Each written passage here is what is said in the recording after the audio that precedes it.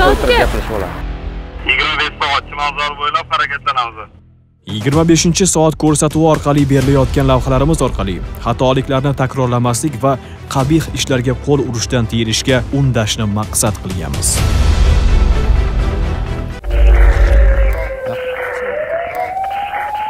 Bugungi dasturimizda 58 million so'mdan ortiq o'g'irlik ijrochilari ushlandi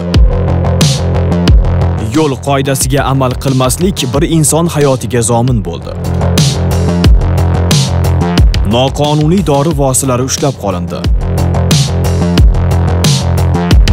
Ichki ishlar idorasi xodimi kiyimida nojo'ya qiliq qilgan shaxsga chora ko'rildi. Tungi reydlarda nazoratsiz yurgan voyaga yetmaganlar aniqlandi. 1 million 300 ming so'mga sotilayotgan marixuana daliliy ashyo sifatida olindi. O'g'irlangan damas avtohalokatga uchradi. Xorijga fohishalikka ketayotgan ayol va uni yollaganlar ushlandi. Shuningdek dasturimizni ijtimoiy tarmoqlardagi sahifalarimiz orqali ham kuzatib borishingiz mumkin.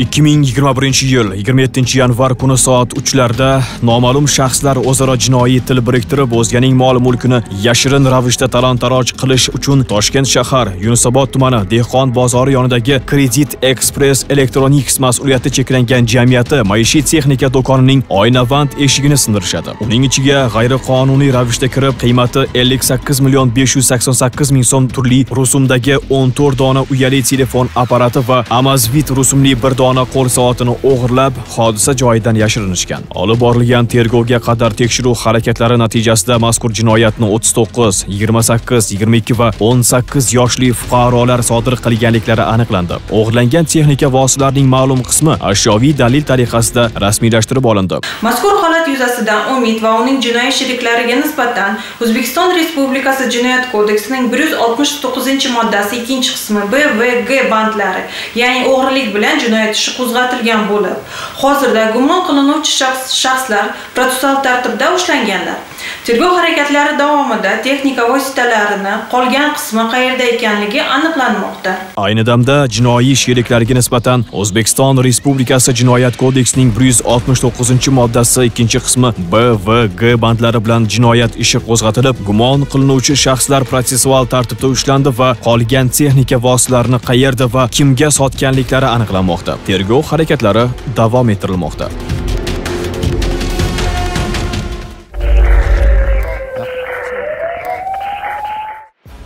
Andijon viloyati Asaka tumani Beruniy mahallasidan o'tuvchi Farg'ona avtomobili halqa yo'lida avtohalokat sodir bo'ldi. Farg'ona viloyati O'zbekiston tumanida yashovchi Angren Avtoneft Trans mas'uliyati cheklangan jamiyati haydovchisi man rusumli yuk mashinasini boshqarib ketayotib, 83 yoshli fuqaroni urib ketgan. Kuzatuv kamerasiga tushib qolgan holatdan ko'rish mumkinki, tartibga solingan chorrahada yuk mashinasi svetoforning qizil chirog'iga amal qilib to'xtab turgan va yashil yonishi bilan harakatlangan.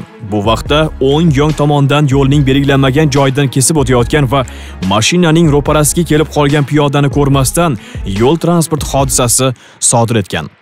tuman hududida harakat xavfsizligini ta'minlashga aloqador tashkilot vakillari ishtirokida kelib yo'l transport hodisasini kelib chiqish sabablari o'rganildi. O'rganish natijasida ushbu yo'l transport hodisasi man rusumli avtomashina Andijon Farg'ona yo'nalishida harakatlanib ketayotib, svetoforni qizil ishorasida chorrahadan 30-40 metr ora masofada to'xtab turgan vaqtida piyoda yo'lni belgilanmagan joydan kesib o'tishi natijasida e, avtomashina haydovchisi uni payqamay qolgan hamda o'ng tomonidan oldi oldi qismiga o'tib olganligini ko'rmay qolgan holda harakatlanib yuborishi natijasida ushbu yo'l transport hodisasi yuzaga kelgan. Piyoda yo'l transport hodisasi natijasida voqea joyida halok bo'lgan. Holat yuzasidan Asaka tumani ichki ishlar bo'limi huzuridagi tergov bo'linmasi tomonidan surishtiruv tergov harakatlari olib borilmoqda. Hozirda ushbu yo'lda bahs hodisa ro'y berdi. Bunda hozirda yo'lda trotuar, piyodalar o'tish yo'laklari hamda yo'l yotiq chiziqlari to'liq jihozlangan. yo'l svetoforlarimiz ish jarayonida ishlayapti yo'l razmetkalar yo'l yotiqsizlar chizilgan hozirda kerakli ko'rsatmalarni oldik. Hamda qo'shimcha yo'l belgilarini o'rnatish bo'yicha ishlar olib boramiz. Aholimizga hududlarimizda ko'chalarimizga beshta ko'cha joylashgan har bir ko'cha keksalarni faollarni hamda yoshlariga shunday holatlar qayta bo'lmasligi uchun tushuntirish ishlari olib borishdi. Hududimizdagi maktab o'quvchi yoshlarimizga keksalarimizni oila a'zolari beparvolik bilan ko'chalarga chiqarmasligini uchun tushuntirishlar olib boriladi. Yo'l transport hodisalarining aksariyati e'tiborsizlik loqaydlik hushyorlikni unutish ortidan kelib chiqmoqda. Ushbu ko'ngilsiz holatning ham oldini olish mumkin edi. Buning uchun yo'lda harakatlanayotganda qoidalarga amal qilish boshqa ishtirokchilarni hurmat qilish madaniyatini shakllantirish lozim. Viloyat ichki ishlar boshqarmasi yo'l harakati xavfsizligi boshqarmasi rahbar xodimlari tomonidan o'tkazilgan muhokama yig'ilishida aynan shu masalaga e'tibor qaratildi. Yo'llarda o'zaro masofa hurmat saqlash kelib chiqishi mumkin bo'lgan noxushliklarning oldini olish tushuntirildi. Shu voqea joyini o'zida fuqarolar bilan o'tkazgan yig'ilish va suhbat davomida fuqarolarga shu belgilanmagan joylardan yo'lni kesib o'tmaslik o'zlarini ehtiyot qilishliklari hamda yo'l harakati qoidalariga rioya qilishliklari to'g'risida tushunchalar berildi. Assalomu alaykum. Aka yaxshimisiz? Sog'ligingiz yaxshimi? Peshobod bu yoqda o'tib oldim. Nima deysiz? Peshobod bu yoqda edi bu yoqdan o'tib oldim bo'ldi bundan oldingi hozir bir soat oldin bo'lgan holatdan xabaringiz bo'ldimi? Yo'q yo'q. Endi chiqyapman bir soat oldin xuddi o'sha siz o'tayotgan joyda sakson uch yoshli otaxon yo'lni belgilanmagan joydan kesib o'tyapti. Avtomashina ko'rmay qolib bosib ketyapti aka halok bo'lyapti. Yo'q unaqa xabarim yo'q. Umuman sakson uch yoshli otaxon ekan keksa. Siz qarang mana qancha masofa qolyapti? Siz o'tgan joy bilan piyodalar o'tish joyini orasida. Arzimagan yigirma o'ttiz metr joy. Ozgina yursangiz trotuar bilan belgilangan joydan o'tishingiz kerak bo'ladi. Yo'l harakati ishtirokchilari avvalo o'zlari qolaversa boshqa qatnashchilarni ham xavfsizligini ta'minlashga majbur. Yuqoridagi singari yo'lning istalgan joyidan kesib o'tish oqibatlari esa ayanchli yakun topishi mumkinligini barcha tushunib yetishi zarur.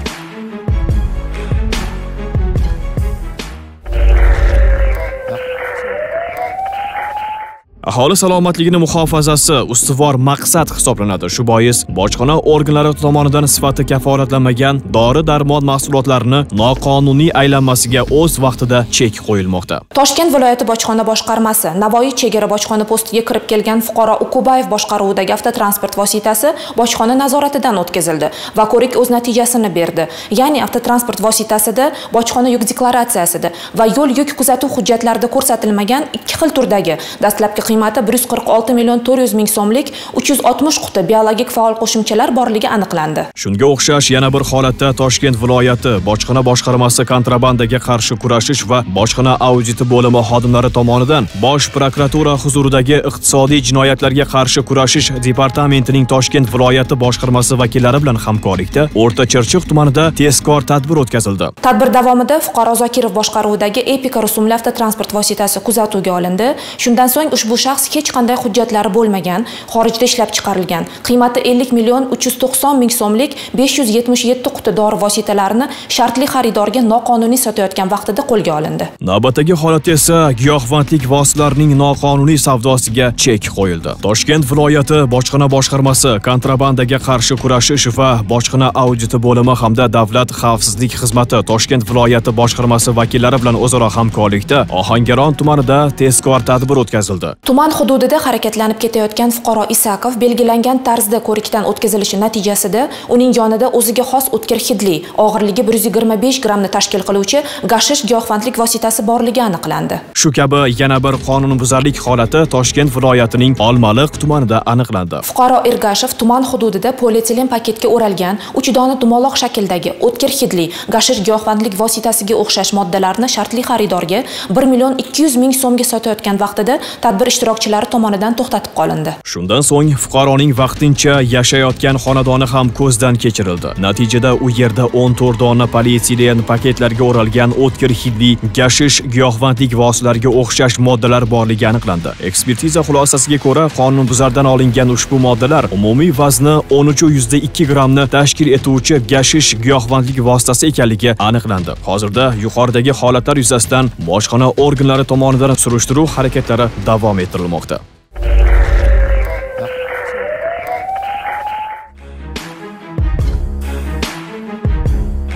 Internet va uning imkoniyatlari haqida gapirilganda salbiy tomonlarni ham tilga olib o'tish odat tusiga aylanib bormoqda. Chunki jahon axborot makoniga aylanib ulgurgan ushbu vosita orqali foydali ma'lumotlar bilan birga zararli shunchaki asabni buzadigan milliy qadriyatlarimizga zid kontentlar ham taqdim etiladiki ular turli xildagi munosabatlarga sabab bo'ladi. Chekka hududlarga ham jadallik bilan telefon tarmoqlari uyali aloqa vositalari yordamida kirib kelayotgan internetdan ezgulik yo'lida foydalanayotganlar ham ko'p. Ulardan eng avvalo bilim yangiliklarni olish axborot almashish yaqinlar bilan muloqot o'rnatish shaklida foydalanish o'rinli. Shu bilan birga iqtisodiy ijtimoiy tarmoqlarda ham uning ahamiyati beqiyos. Afsuski bu vositalardan noto'g'ri foydalanib o'zi va yaqinlarini iztirobga qo'yayotganlar topilib turibdi. Ayniqsa yoshlar orasida oson mashhurlikka erishish ilinjida huquqbuzarlik sodir etayotganlar keyingi vaqtda ko'p uchrayapti. Sirdaryo viloyatining mirzaobod tumanidagi avtomashinalarni yuvish shahobchasi ishchisi va uni tasvirga olgan sherigi tomonidan sodir etilgan huquqbuzarlik shulardan iborat edi.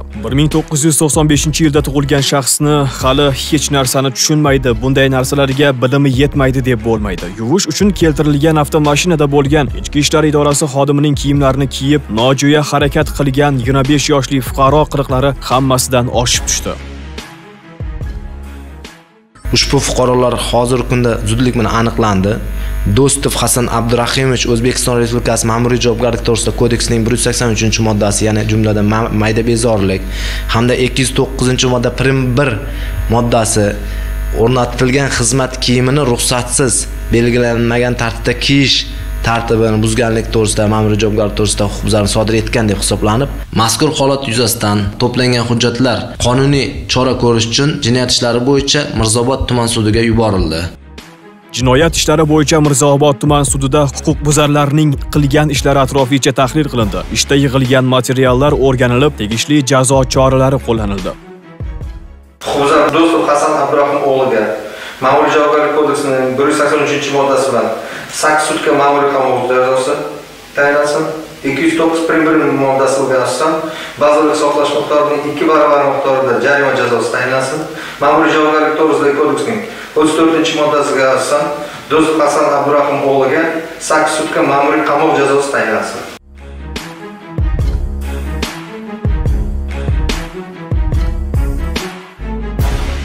Xizmat xodimining kiyimida o'zining raqqosligini ko'rsatgan va nojo'ya qiliqlar qilgan fuqaroga qilmishiga yarasha jazo tayinlandi. Uni tasvirga olgan va ijtimoiy tarmoqlarda tarqatgan voyaga yetmagan fuqaro ham bundan benasib qolmadi. Bundan tashqari, ish tuman hokimligi qoshidagi voyaga yetmaganlar komissiyasida ham ko'rib chiqilib, nazoratga olinadigan bo'ldi. moshina yuyayotganda shu bola keldi, tanishim Diyorbek degan.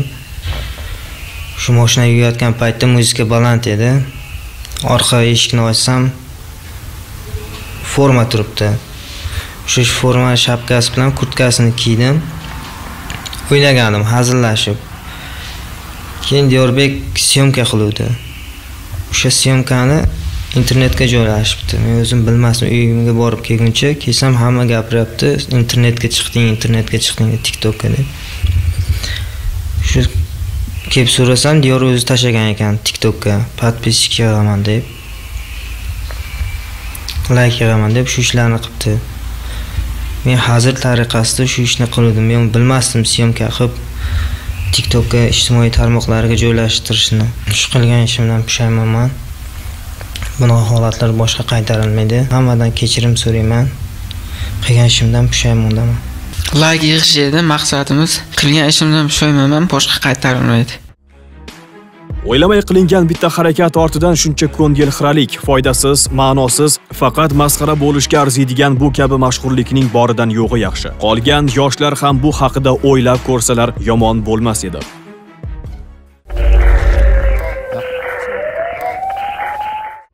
Buxoro viloyati ichki ishlar boshqarmasi hamda sohaviy xizmat xodimlari milliy gvardiya xizmatchilari hamkorligida voyaga yetmaganlarning nazoratsizligining oldini olish uchun tungi reydlar tashkil etilmoqda. Tadbirlar davomida soat 22:00 dan keyin ham ko'ngilochar maskanlarda yurgan voyaga yetmaganlar aniqlanib ularning tunda yurishdan maqsadi vakolatli hamkorlik qiluvchisi bor yoki yo'qligi o'rganildi. Ma'lum bo'ladiki ularning bu zaylda yurganidan ota onalari yoki yaqinlarining xabari yo'q. Voyaga yetmagan fuqaro soat o'ndan keyin emasmi bilasizmi ko'ngilochar kunlarda nimasini bilasizmi xabarnomasiz nima qilib yuribsiz yo'lda karta o'ynab turibsiz yo'lda ikki ming uchdan uka aldamaganman novilatdanmisan propiskani ikki ming uchdan nima endi sotadi voyaga yetmaganlarning yaqinlari bilan suhbatda ham ular ko'chaga boshqa maqsadni aytib chiqib ketganlari oydinlashdi. Tashqari chiqaman deb bunaqa qilgan siz ruxsatsiz chiqqan shunaqami mandan so'rab qalanxona bo'laman deb sizdan ruxsat so'radim yo'q. Qalanxona siz bir xabaringiz yo'q ushbu holatda tungi klublarda voyaga yetmagan shaxslarning e, kalan chak yurganliklari aniqlandi va buxoro shahar ichki ishlar bo'limiga olib kelinib shaxsiga aniqlik kiritildi. Ularning ota onalari chaqirilib farzandlarini qarovsiz qoldirmaslik to'g'risida tushuntirish ishlari olib borildi. Tegishli tartibda hujjatlar rasmiylashtirildi holat bo'yicha tegishli tartibda chora ko'rish uchun bayonnomalar rasmiylashtirildi. Voyaga yetmaganlarga sharoit yaratib berayotgan maskan mutasaddilariga ham ma'muriy bayonnomalar rasmiylashtirildi.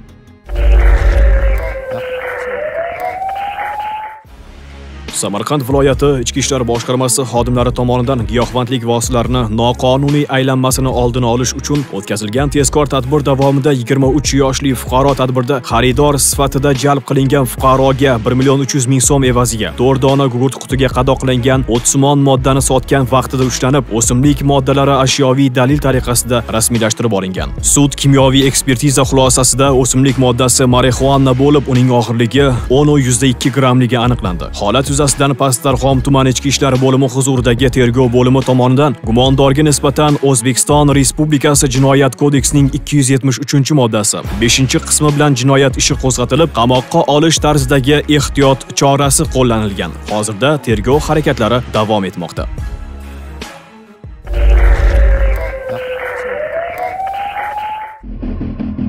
2021 yilning 5 fevral kuni soat 20:30 larda noma'lum shaxs Toshkent viloyati Chirchiq shahri tiklanish ko'chasida turgan Damas rusumli avtomashinaning kaliti o'z o'rnida qoldirib ketilganligidan foydalanib, avtomashinani olib qochgan. Transport vositasini Bo'stonliq tumani tomonga boshqarib ketayotib, yo'l chetida to'xtab turgan Nexia 2 rusumli avtomashinaga urgan va yo'l transport hodisasi sodir etib, voqea joyidan yashiringan. Olib borilgan tezkor qidiruv harakatlari davomida ushbu jinoyatni 50 yoshli fuqaro mast holda sodir etgani aniqlandi. Mazkur holat yuzasidan Chirchiq shahar ichki ishlar bo'limi huzuridagi tergov bo'limi tomonidan unga nisbatan jinoyat kodeksining 267-moddasi birinchi qismi bilan jinoyat ishi qo'zg'atilib, sud tomonidan qamoqqa olish tarzidagi ehtiyot chorasi qo'llanilgan.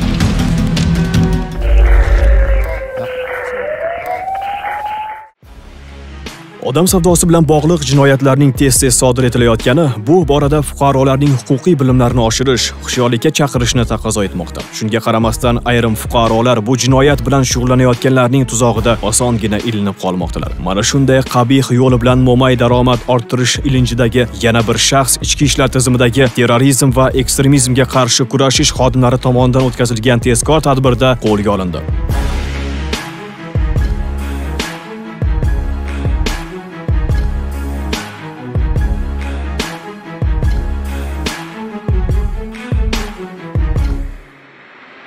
O'ttiz yoshli ayol shahvoniy maqsadlarda Toshkentdan Istanbulga jo'natilayotgan edi. Ayolni xorijdagi gumashtasi yoniga kuzatayotgan fuqaro muqaddam sudlangan. Buxoro shahrida doimiy ro'yxatda turuvchi va Samarqand shahrida istiqomat qiluvchi 29 yoshli ayol ekanligi aniqlandi. Xorijdagi biznes hamkori esa Samarqand shahrida doimiy ro'yxatda turadigan, hozirda Istanbul shahrida yashovchi 48 yoshli ayol ekanligi ma'lum bo'ldi. O'zbekiston Respublikasi Ichki ishlar vazirligi terrorizm va ekstremizmga qarshi kurashish bosh boshqarmasi hamda Samarqand viloyati hamda shahar ichki ishlar idoralarida xizmat qilayotgan terrorizm va ekstremizmga qarshi kurashish xodimlarining sa'y harakatlari tufayli yana bir odam savdosining oldi olindi. Turkiya davlatining Istanbul shahrida fohishalik bilan shug'ullanish orqali moddiy mablag' orttirishga taklif qilingan ayol Islom Karimov nomidagi Toshkent xalqaro aeroporti orqali yuborilayotgan vaqtda to'xtatib qolindi. Aybdorlar ushlanib, tegishli tartibda rasmiylashtirildi. Mazkur holat yuzasidan O'zbekiston Respublikasi Jinoyat kodeksining tegishli modda va qismlari bilan jinoyat ishi qo'zg'atilib, tergov surishtiruv ishlari olib borilmoqda.